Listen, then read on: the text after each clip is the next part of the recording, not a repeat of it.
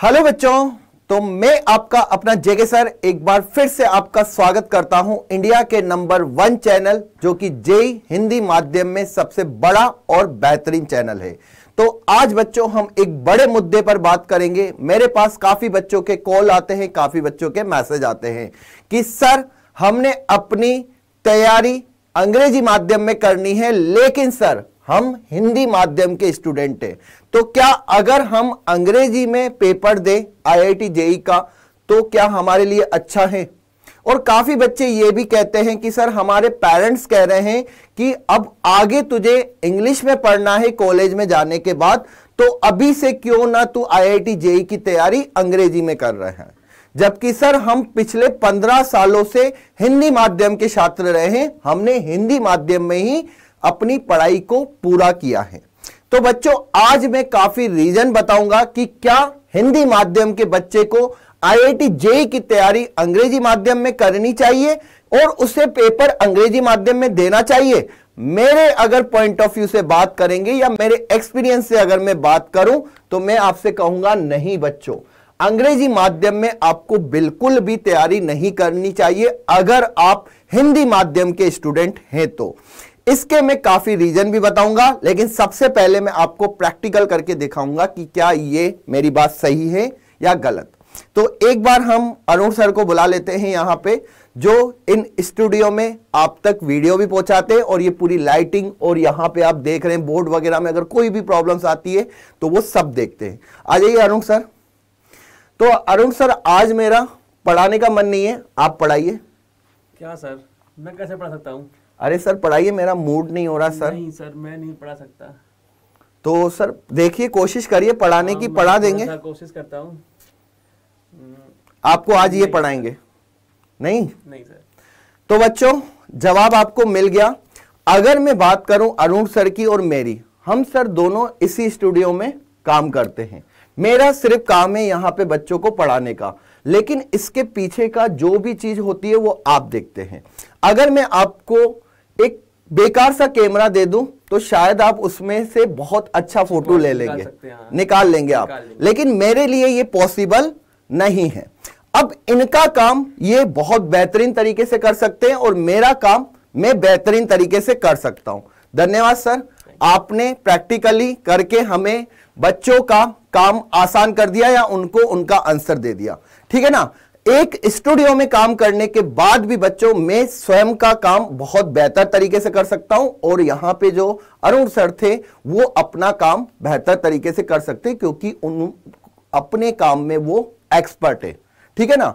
हर किसी बच्चे का स्टूडेंट का एक विल पावर होती है कि वो किसी एक चीज़ में बहुत ज़्यादा स्ट्रांग होता है। ठीक है ना? आपने बच्चों पिछले पंद्रह सालों से हिंदी माध्यम में अगर तैयारी की है या पढ़ाई की है, अब आपसे एकदम बोल दिया जाए कि हिंदी माध्यम में, इसे अंग्रेज़ी माध्यम में तू आईआईटी जेई की तैयारी कर। तो बच्चों, आपको मैं बता दूँ सबसे पहला रीजन, जो आईआईटी जेई की तैयारी पहले चार महीनों में होती है ना, वो बहुत ही इंपॉर्टेंट होती है, क्योंकि उस टाइम आपको पढ़ाया जाता है बेसिक्स अब आप उस टाइम हिंदी से अंग्रेज़ी में वर्ड ट्रांसफ़र कर रहे हो, आप सीख रहे हो कि यार इस इंग्लिश के वर्ड को हिंदी में क्या कहते हैं? अगर आपके पास एडजॉइंट मैट्रिक्स आ गई एग्ज़ाम्पल बता रहा हूँ। अब आपने ट्वेल्थ में पढ़ा था आव्यू का सखंडज। अब यहाँ पे एडजॉइंट मैट्रिक्स तो इन बेसिक चीज़ों पर आप इतना ज़्यादा ध्यान दोगे जिससे कि आपके जो इंपॉर्टेंट पॉइंट है, वो तो खत्म हो जाएँगे। बेसिक्स तो आपको समझ में नहीं आएगा। और आप सिर्फ़ यहाँ पे अंग्रेज़ी से हिंदी में ट्रांसफ़र करना ही सीखोगे आगे आने वाले चार महीनों में। जो कि आपको बच्चों, जो आपके आगे आने वाले जो महीने होंगे, उसमें आपकी तैयारी बिल्कुल बेकार हो जाएगी।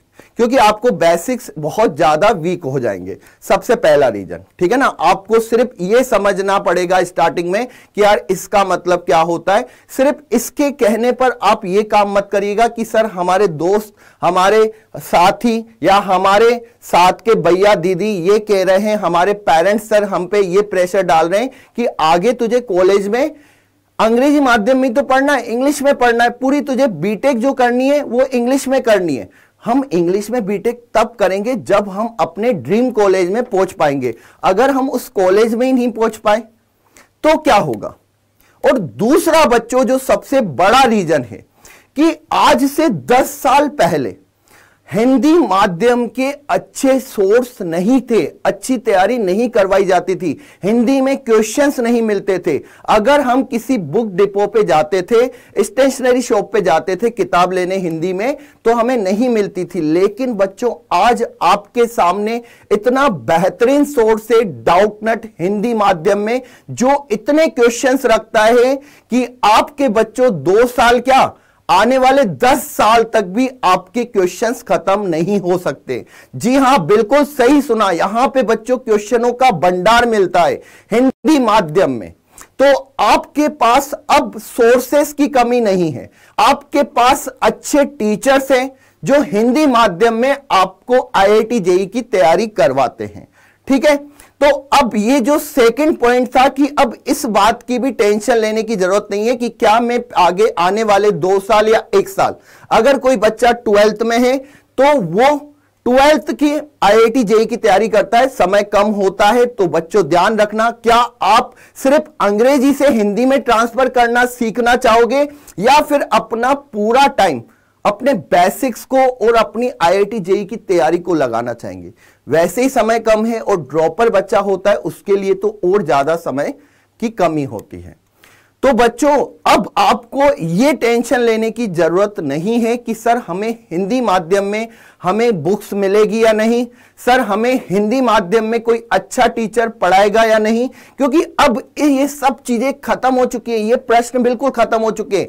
हिंदी माध्यम का सबसे शानदार प्लेटफॉर्म जो बच्चों डाउट नट है, वो आपको तैयारी करवा रहा है और यहाँ पे आईआईटी में सेलेक्टेड टीचर जो आईआईटी बॉम्बे से हैं, जिन्होंने आईआईटी जेई को क्रैक कर रखा है, वो भी हिंदी माध्यम के, हिंदी माध्यम से पढ़े हुए टीचर हैं।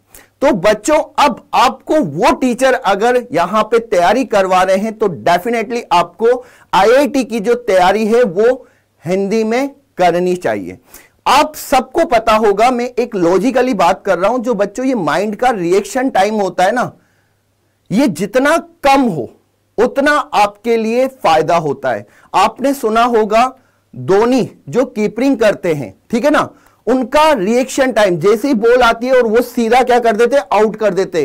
पॉइंट पॉइंट सेकंड में थे पॉइंटों में मिली सेकंड में मिली सेकंड इतना जल्दी से उनका माइंड ये कब करेगा? आपका माइंड की रिएक्शन टाइम कैसे जल्दी? अगर आपको क्वेश्चन पेपर आप देने गए जेई का। आपने क्वेश्चन पढ़ा इंग्लिश में। अब आप उसको पहले तो हिंदी में सोच रहे हैं। पता चला एक मिनट तो हमें इंग्लिश से हिंदी में ट्रांसफ़र करने में लग गया। क्योंकि आपने पिछले पंद्रह साल से तैयारी की है हिंदी में, ठीक है ना? पूरा ट्वेल्थ तक हम हिंदी में पढ़े, टेंथ तक हम हिंदी में पढ़े, अब हमें अंग्रेज़ी में हम जेई की तैयारी करने जा रहे हैं। तो बच्चों, आप पहले क्वेश्चन को समझोगे, फिर उस क्वेश्चन के वर्डों को हिंदी में ट्रांसफ़र करोगे, फिर आप उसको सोल्व करोगे, जिससे कि आपका बहुत बड़ा लॉस हो सकता है जेई के एग्ज़ाम में। हर किसी स्टूडेंट्स या कोई भी कोई भी यहाँ पे व्यक्ति हो ठीक है ना? इंसान हो, उसकी अपनी विल पावर होती है। अगर कोई योद्धा भी होता है तो वो अपना शस्त्र अपने साथ रखता है। क्योंकि उसको पता है कि इस शस्त्र से मैं कोई भी जंग जीत सकता हूँ। तो आपकी भी बच्चों, जो सबसे बड़ा शस्त्र है ना, वो है बच्चों, हिंदी माध्यम। बिल्कुल सही सुना।